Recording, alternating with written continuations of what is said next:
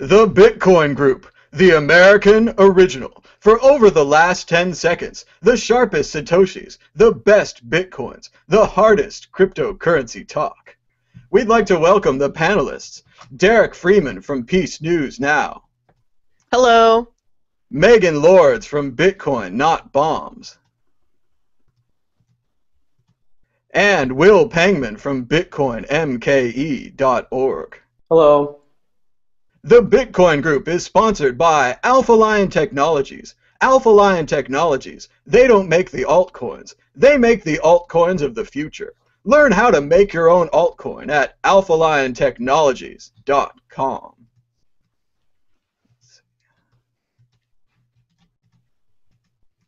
Issue 1 Bitcoin roller coaster. The price goes up, the price goes down. Bitcoin seems to be riding between 800 and $1,000. Will it keep doing this, or is this pre breakout, pre crash behavior? I ask you, Derrick J. Woo! This roller coaster keeps going. But I've, I, you know, I've been looking at the charts for a while, and uh, although I didn't want to believe Davi uh, when he said that we're finding some stability around 1,000, it seems to be the case. Megan Lords. Well, the only thing predictable about Bitcoin is that it's unpredictable. Uh, that being said, I've been, you know, really pushing for or hoping for some stability for a long time now, and I agree with Derrick. I think we're seeing it kind of level out a little bit. Will Pangman. Yeah, uh, since uh, since we went under a thousand, I've been watching the charts more closely, and you know, after things kind of settle down after last weekend, there's a lot of uh, upward pressure at about 850.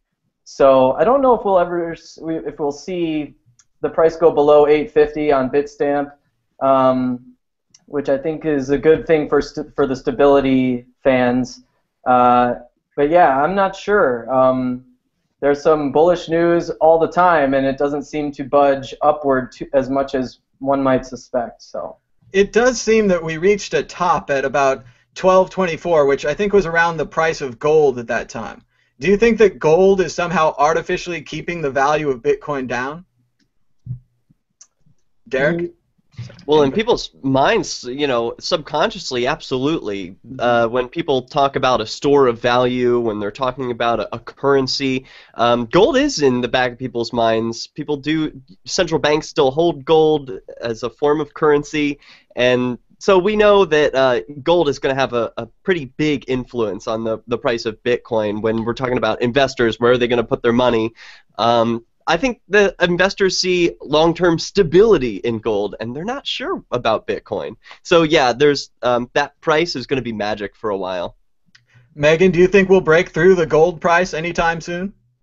I think there's some psychological factors at play, but there's also very different things manipulating gold and Bitcoin. They they seem to be driven by very different things, and uh, I I don't I don't know that I can make a prediction to say that Bitcoin would you know break through the gold barrier anytime soon.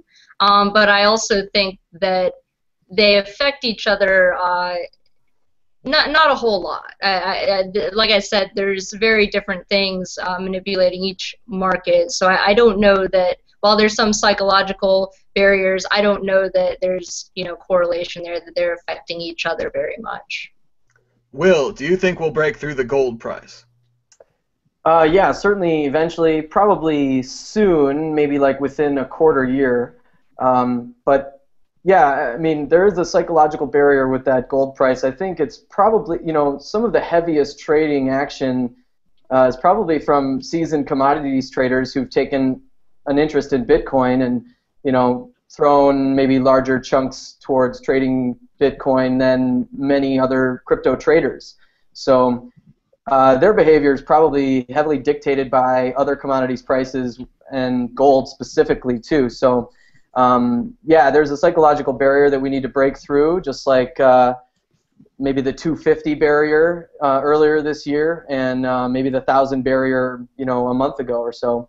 Um, those didn't take very long, it seemed, um, but maybe the gold barrier will will will take a little longer. Um, you know, it's funny we see the settling down of the price action right after uh, the China news and there isn't much movement in the last two days, really, uh, compared to the previous month. So, yeah, it's it's uh, more big wigs are getting involved in Bitcoin. That's clear in the news and kind of clear if you're watching order books and stuff. So, um, yeah, it'll, it'll take a few months, I think, to to get through. Hopefully not, though. I like to see wild upward action too.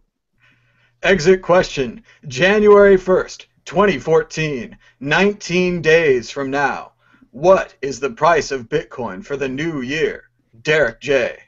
One thousand and one dollar. And $1. Megan Lords. You know, I, I'm gonna go with 1100. Will Pangman. Nine ninety nine. I'm sticking with 1500. To the moon or bust. Let's see. Come on, man. Issue 2 Apple versus Bitcoin. Formerly the apple of my eye, the once forward thinking technology company has banned Bitcoin wallets from the App Store using a catch 22. While Apple once complained about Microsoft's anti competitive behavior, they are now doing it themselves. Presumably, they see Bitcoin as competition for their own payment processing solution. Is this the end of Apple? By making their once stellar iPhones clearly inferior to Android, has Apple just taken a knee and given up on being a technology company? Is the spirit of Steve Jobs that once guided this great com- company now truly dead? I ask you, Megan Lords. Oh man, Apple needs to get with the program. Uh, I've never been a huge Apple fan, to be honest, and I just got a brand new LG G2 Droid, and I love it. Like it's it's a great phone. I love the Mycelium app, for example. It's a great Bitcoin app, and it, you know it's not surprising though that Apple would be acting this way. They've never been uh, very happy about competition. They've always uh, used their patents uh, you know, to do patent trolling and things like that. So this isn't surprising behavior coming from Apple, but I really think they need to get with the program if they're going to want to stay competitive in, you know, natural ways, as insofar as their products are superior, uh, because they can, you know, fight in court all day long with Samsung and some of these other companies if that's how they want to make their money. But I think they best get with the program and uh, start start being more open-minded towards Bitcoin. Will Pangman. Oh man, as a faithful Apple user, probably. Um, yeah, I've been continually disappointed by their approach to Bitcoin. Of course, they're, um, you know, I I had suspected, along with a lot of other people, that Apple was going to eventually roll out their own um, payment application and pr- perhaps even a proprietary um, currency and it looks like that was the plan. I'm I don't think I'm breaking this because um, I found it on the Bitcoin subreddit in the new category, but um, there's an article on CryptoCoinsNews.com that's really interesting about a new Apple feature that apparently has been silently embedded in the last two or three generations of i devices. Um, that's going to enable uh, payments for the enabled devices. So these can be third-party devices or really your iPhone, your iPads, and computers and stuff. And right now, I guess it's activated for Apple stores only.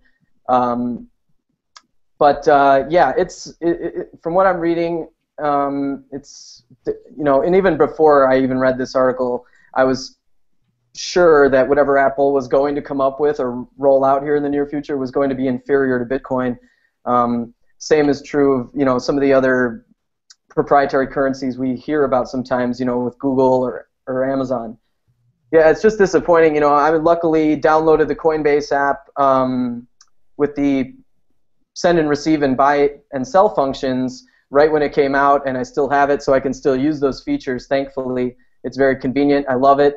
I've always been disappointed that Gyft.com's app on, on iOS does not allow me to buy cards in Bitcoin, and I have to go through many different browsers. You know, uh, to, to do that on the phone at least when I'm in a store. It's nice to just be able to do that.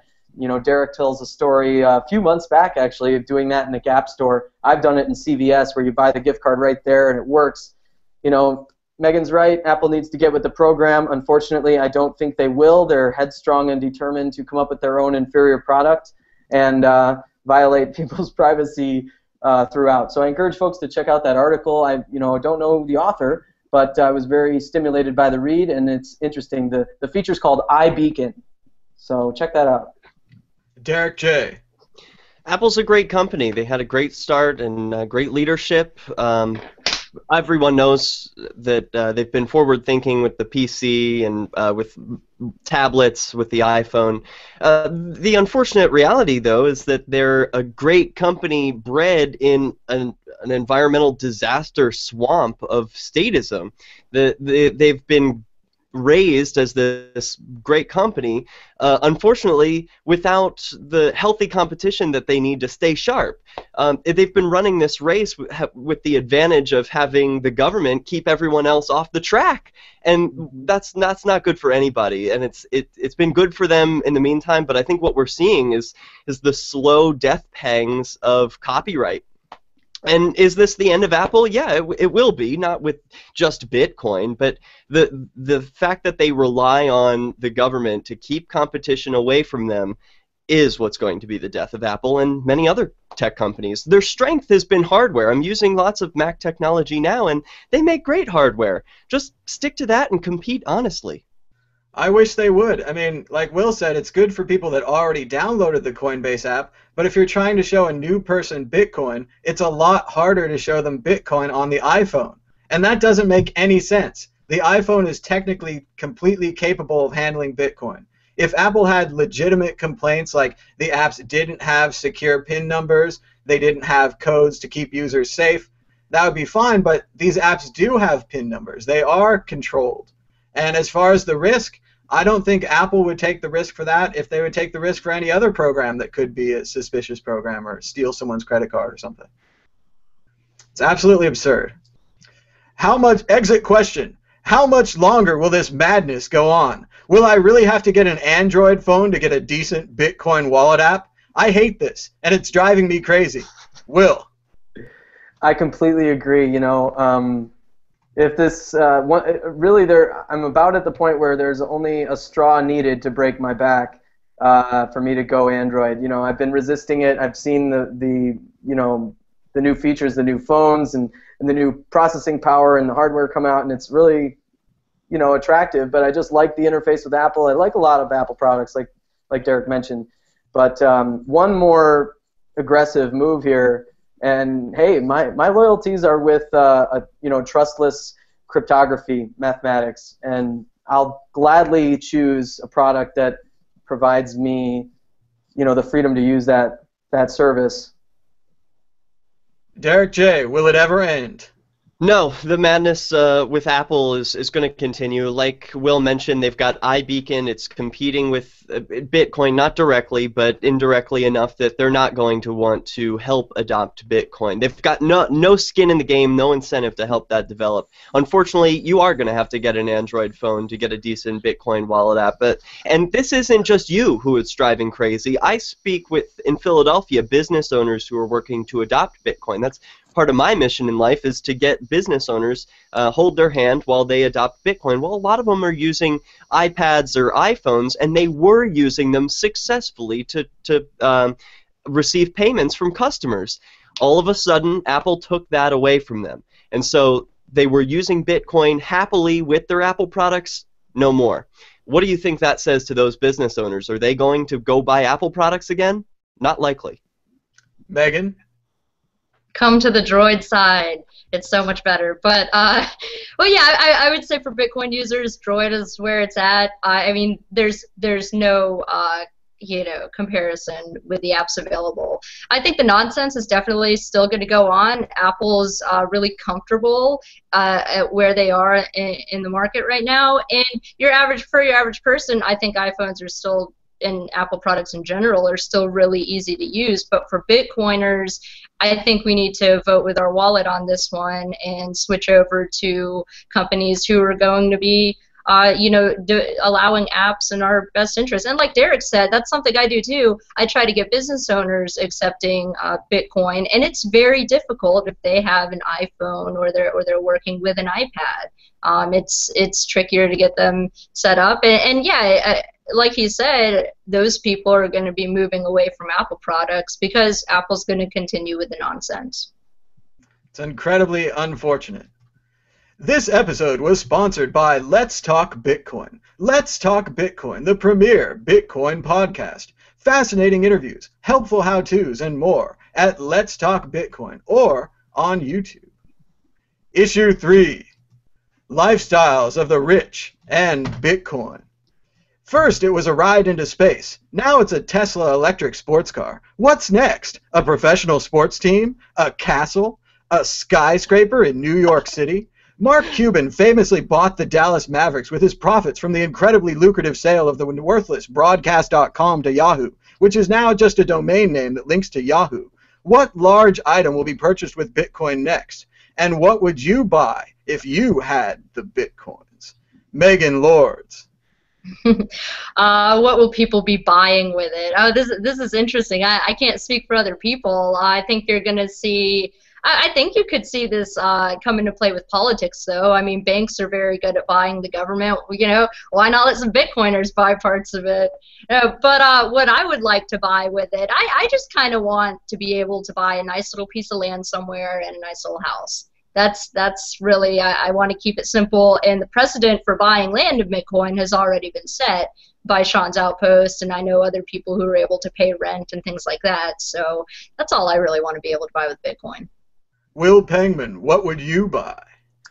Yeah, um, I think Megan stole my thunder a bit. Yeah, I want to buy lots of land with uh, with Bitcoin one day. So um, that's that's kind of what I'm eyeing up. You know, just and some some independence from some debts probably too. You know, um, get that uh, get that burden off. So uh, that's what I'm thinking of personally. But uh, I'd like to see you know people put up real estate development. Skyscrapers sound great. You know, I think we need another order of magnitude or two um, for some large Bitcoin holders to to afford you know such ventures like that.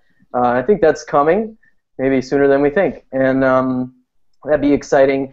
So the sports team idea is cool too. You know, the first sports team bought with Bitcoin and uh, a fully Bitcoin-enabled sports arena, concessions, and everything. I mean, that would be neat. You know. Um, and we could rename the team the Philadelphia Bitcoiners. The Philly Satoshis, yeah, yeah, that'd be cool. Um, yeah, so those are those are exciting. I mean, you know, entertainment, especially you know, fluff entertainment stuff like perhaps professional sports or certainly reality TV and things get a bad rap, but you know, we're going to have those in a freer society also. And, uh, you know, I'm glad for that. You know, hopefully some of the patriarchal um, power structure stuff will go away, obviously, in a, in a freer society. And, and, you know, maybe we could see more genuine competition both in the marketplace and on the sporting field. Derrick J., what would you like to see purchased with Bitcoin? Well, one of the jokes I saw on Coinion.com this week was that uh, an employee was asking for pay in Bitcoin, and the next day he bought the company. And uh, I think that would be the next thing I would like to see is people buying factories, uh, yeah. serious capital, um, and reinvesting their bitcoins in something productive like like a factory. But if I had my choice, I would buy an island. Uh, Bitcoin has no nationality, and neither do I. Exit question. What would you rather buy? A space ride that you can use once or a Tesla that you can drive every day? Megan? I'm going to hold out for the Tesla flying car because we were promised flying cars, and that's what I want. I mean, it'd be cool to, you know, go to space and all, but I want my flying car. Will? Yeah, oh, the flying car idea is awesome. Uh, Tesla for sure. You know, I've ridden in one, and yeah, I want one. Derrick J? A space ride. The government can't take that away. it's really hard because I'm very practical, so obviously the Tesla or a Prius, but I don't think I could pass up the chance to go to space.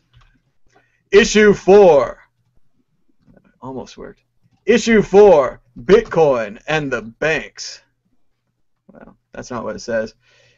China says no banks. JP Morgan says they wanted their own Bitcoin clone, but it turned out to be an old patent. Fidelity said they would accept the SecondMarket Bitcoin ETF, but they changed their minds. What is the future of Bitcoin and the banks? Will they work together, or can there be only one? Derrick J.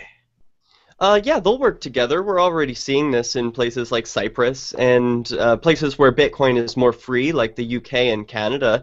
So uh, I think there's Bee Payment Network and Neo, which are sort of one and the same over in Cyprus, and they're really paving the way. And it's not surprising that we're seeing banks in Cyprus paving the way, seeing as they had the some of the worst during the financial disaster. Um, so it's probably going to follow in that sort of trend. People who uh, are aware of um, the dangers of the existing financial system are going to start moving away faster than those of us who are um, still relying on it heavily, like in the U.S. Megan Lords. I think they're going to work together for as long as it's profitable for the banks. Um, I think when they start seeing some serious competition and more people maybe start pulling their money out of the banks, then you might see them use their government privilege to try to crack down on it. Um, a lot of times, some of these large, some of the larger banking firms are kind of known as the unelected government, and yeah, they're definitely going to use their privilege to try to crack down if they perceive Bitcoin to be more of a threat. But for now, I think they see some incentive to get involved and to be more uh, accepting towards it. So I think they're going to do that for a while as long as it suits their needs. Will Pangman.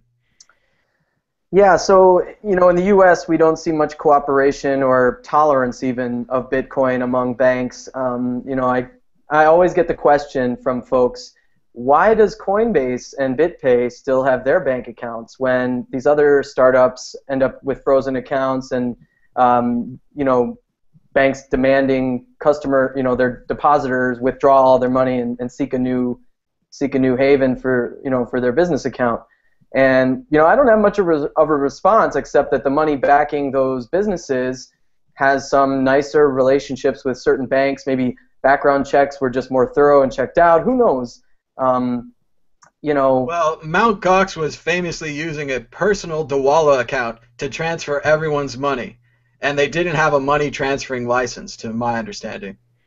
Yeah, so you can't play the game of I'm only going to ask for forgiveness, not permission, when it comes to banks. And so I think that's what maybe we saw in the case of Mount Gox and lots of other really great startups, like, for example, BitSpend. Um, if folks who've been around for with Bitcoin for say six to nine months, you know about BitSpend and how awesome of a company that was. There's sort of a uh, um, a new company called Snapcard that does a lot of what BitSpend was doing, and so far so good with them. I've heard good things. Uh, but yeah, when it comes to banks, what we've seen from China, you know, the, the play by China was interesting. The government said no banks, and then we see a huge sell-off that could be just negative sentiment, but I tend to believe that there was already bank money in Bitcoin in China, and it was sold off to comply um, with the new, you know, the new announcement. So, you know, I think they want to get involved and explore it. I'm sure certain individuals want to get involved. I know I hear that out of New York City a lot um, with some contacts there and the, and the meetup there. Um, it's I see acts of aggression, if you will, by banks against Bitcoin businesses, against Bitcoin itself. They do smell the threat of Bitcoin, uh, and they realize that it is a threat to their hegemony. But I don't think they yet realize that it's a actually an existential threat to them, a deeply existential threat. And you know, if they did, they would take a much heavier hand and then fail sooner with that approach. So I know I said this last week. I'll kind of say it again. You know, um, I'm eager for a misstep, you know, some hubris that uh, exposes the kind of, you know, vulnerabilities or weaknesses with the, the traditional central banking model of, you know, finance and the, uh, you know, the advantages of Bitcoin far outweighing all those features. So, um, you know, I'd like to see one of those mistakes pretty soon. And when we see kind of how, how uh, robustly Bitcoin responds to such a, an approach, then you know, I think the wool comes off of a lot of people's eyes. Derrick J. No, unlike Will, I don't, think that the, the banks are going to come with their own heavy handed approach. Um, banks have every interest in making money. They see the potential gains in Bitcoin. They see that their customers want to use it. They are going to adopt Bitcoin like a fat kid is going to try and run a race. I mean, they'll, they'll do their best, but they're just not going to be able to make it, and eventually they're going to fail. The big the, the bank that um, Oh, okay, but that that's the answer to that question. You haven't asked your exit question yet. Exit question: Which bank in the USA will accept Bitcoin first, and why? Megan Lords. Ooh, which one? Oh man, uh, you know, what I'd like to see is some smaller credit unions start accepting Bitcoin, but that's probably not likely. Uh, so I'm, I'm guessing someone like Bank of America. Uh, just because I think it would be good PR for them because they're kind of seen as you know when you think of like these big evil banks, Bank of America is always at the very top of the Well, list. and They only need good Nixon PR. could go to China. Only Nixon Right. could go to China. So. Right, like they they need good PR. You know, people still are kind of, I think, distrustful of them, and uh, you know, I, I think it would be good for their image. So I'm thinking they might be the first ones. Will Pangman. Yeah, you know, my wish would be for small community banks and credit unions to kind of one of them somewhere in America to to you know have a a forward-thinking uh, director, you know, CEO of that bank take that step. But I agree with Megan. You know, the most positive um, the most positive sentiments to come out of the banking higher ups has been from folks at um, Bank of America. So that would be that would be my answer too. I think if any of them ever do uh, formally and you know like truly, fully uh, accept Bitcoin, it, it might be Bank of America just because of the sentiment from from their leadership. It sounds like. Derrick J. shaking his head. Of course! Now I'm shaking my head. Have you guys forgotten Occupy Wall Street? Bank of America earned their bad name. I don't expect that's going to change now. That's why they Bank- need good PR. Yeah, they need good PR. Uh, It would it would be the first time they do something right. TD Bank is going to be the one in the U.S. who um, starts accepting Bitcoin first because they're one of the biggest banks in New York City, Philadelphia, D.C., along the East Coast, and they're also Canadian. So we know that Canadian has loose regulations with Bitcoin. Um, so they're they're the first most obvious choice. TD Bank. That would be nice. I mean, I agree with the panel. It would be nice if a small bank or a credit union adopted it, but I have no reason to believe that. It's interesting that Bank of America Merrill Lynch has properly analyzed it, set a price target, said positive things about it, Mhm. but maybe a small bank somewhere will see this as a competitive advantage and adopt it and really market themselves as the Bitcoin bank and just go for it. I mean, that would be a nice challenge to the uh, traditional top three banks. Yeah, the Moving first on one to questions and answers. Let's see if we have any questions and answers. I'm opening up the app. Let's see. They're asking about when Bitcoin will break the gold barrier. I think we discussed that pretty well. I'm going to check on Twitter. Let's see. Um, we have a question from Johnny Bravo. He'd like to ask, um, what are the what are the amount of Americans that know bit, what Bitcoin is? Is it about one out of thirty? Do you think, Derrick J?